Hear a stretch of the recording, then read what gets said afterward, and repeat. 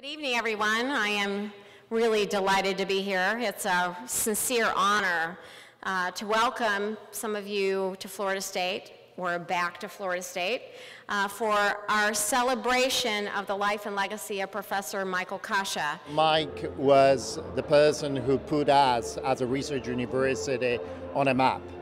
Uh, he was the first Floridian who was elected to the National Academy of Sciences, which is an in- incredible honor.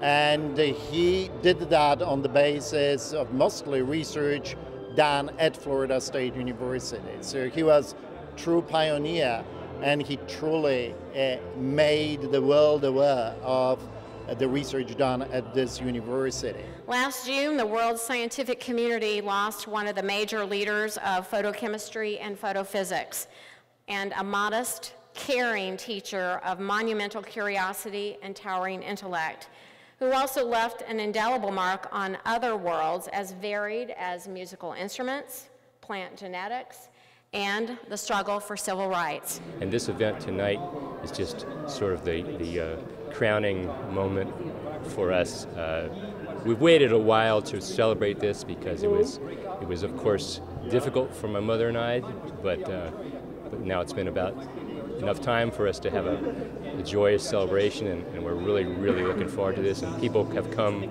from all over and from decades of being his student Uh, to, to, to join us in this.